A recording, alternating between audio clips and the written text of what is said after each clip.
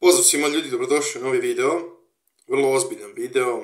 To što neće biti možda previše dug, bitno je da je sadržajem da shvatite šta sam želeo da kažem. Dakle, već skoro dve godine pominjem da će doći do desetog krstaškog pohoda, odnosno da će doći do ogromnog sukoba između hrišćana i muslimana, u to sam apsolutno uveren.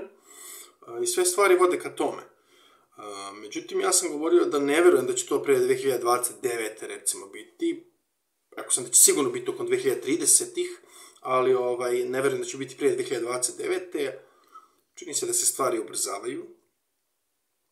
Čini se da se stvari ubrzavaju velikom merom, vidjet ćemo, možda dođe do nekakve vrste, tako se činilo i za Francusku da će izbiti građanski rat pre par godina, pa nije izbio. Možda se i ovdje stvari malo ovaj, spuste, ali da tenzije ostanu i da to vri, da dođe kao kuvanje žabe, vidjet ćemo. Ali ono što zabrinjava je stav određenih europskih političara i njihove izjave koje su dali, dakle oni naravno da ne odlučuju ni o čemu, kao ni bilo ko drugi, ali oni su jednostavno glasnogovornici određenih agendi i ideja koje se sprovode u svijetu.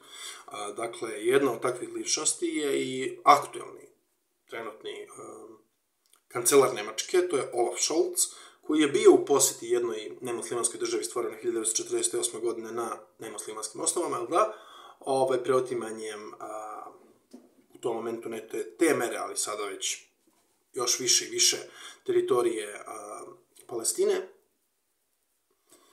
I rekao je nakon što je video šta je Hamas uradio civilima i video da migranti podržavaju Hamas, rekao je da je vrijeme da se počne sa